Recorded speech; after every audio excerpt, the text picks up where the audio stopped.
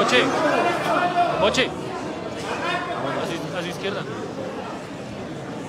Mira, buenas noches para todos los colombianos. El país ya habló. Ha hablado el país. Ciérrese. Y nuestro país que habló, nosotros queremos responderle. Rodrigo y yo queremos responderle en compañía de nuestras esposas Margarita y Ana y de toda nuestra familia. Sobre todo yo en este momento quiero hablarle a Colombia, pero hablarle desde el corazón. En muy poco tiempo, siendo dos caras nuevas en la política nacional, al lado de mi amigo Rodrigo y nosotros, hemos logrado mucho. Y a los más de 5 millones de colombianos que han votado por nosotros este día electoral, queremos darle las gracias infinitas por haber depositado esa confianza con nosotros.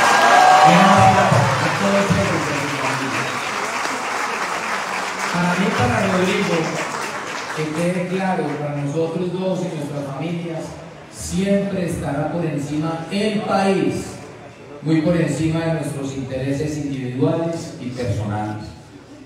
Y hoy los colombianos tienen dos alternativas en esta contienda electoral que se aproxima ya para el 19 de julio. Y por eso, al saber que nuestra posición es determinante para el futuro de Colombia, hemos tomado una decisión que la queremos comunicar al país. Yo ni necesito hacerlo. Y quiero expresar públicamente que nosotros no queremos perder el país y que no vamos a poner en riesgo el futuro de Colombia, de nuestras familias y de nuestros hijos. Y por eso, y por eso, Rodrigo y yo votaremos por Rodolfo y por Marilena.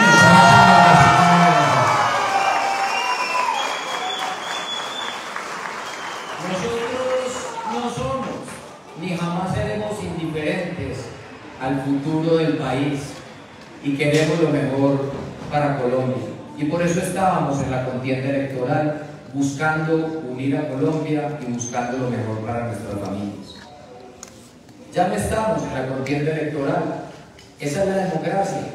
Unas veces se gana, unas veces se pierde. Pero la democracia se cuida y se respeta. Y esas son las. Gustavo Petro, por todo lo que ha dicho y por todo lo que ha hecho, no le conviene a Colombia. Sería un peligro. Sería un peligro para la democracia, para las libertades, para la economía, para nuestras familias y para nuestros hijos. Y por eso consideramos que esa opción sería un peligro para el país. Aclaramos, eso sí, que serán Rodolfo y su equipo quienes respondan por sus acciones dentro del gobierno. Y además, dejamos muy claro que ni Rodrigo ni yo haremos parte de su gobierno ni buscaremos hacerlo. Vamos a mantener una posición de veeduría y siempre tratando y buscando de manera sensata, oportuna y coherente unir a Colombia, que es el propósito más urgente, porque es la forma de que Colombia pueda salir adelante. Y nosotros lo que sí queremos es que de corazón a Colombia le vaya bien. Y por eso nosotros no podemos ser indiferentes a este momento que hoy vive el país. Respetuosamente y agradecido con los más de 5 millones colombianos y colombianas que votaron por nosotros dándonos su voz de confianza. Los invito a que cuidemos el país y a que votemos por Rodolfo y por Marilén el próximo 19 de julio. ¿Para qué? entendiendo que dentro de las dos alternativas, hoy es la forma más sensata de cuidar la democracia y cuidar las libertades. Porque una vez se van las democracias no retornan. Y si nosotros tenemos la posibilidad, como la tenemos en este momento, de asumir una posición política que sea responsable con el país, pues lo estamos haciendo justamente por nuestros hijos, por nuestras familias y por las suyas y por todo Colombia.